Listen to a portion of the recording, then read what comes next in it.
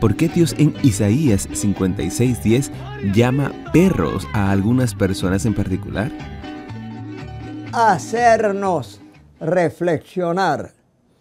Cada país tiene sus costumbres, sus tradiciones, su estilo de vida.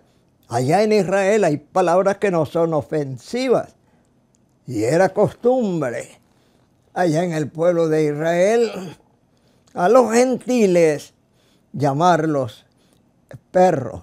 Nosotros no somos perros, no tenemos cola, no tenemos orejas, no, tenemos unos dientes, unos colmillos afilados. Nosotros fuimos hechos a la imagen y semejanza de Dios.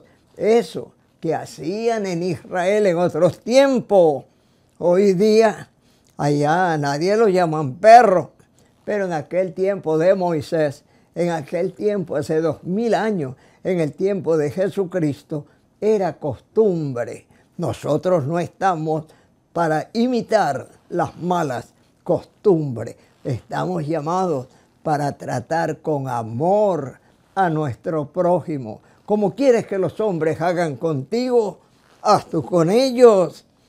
A mí no me gustaría que usted me llame perro, pues yo no tengo que llamarlo perro a usted. Espero que esto te aclare por qué en el tiempo antiguo a los gentiles se les llamaba perro.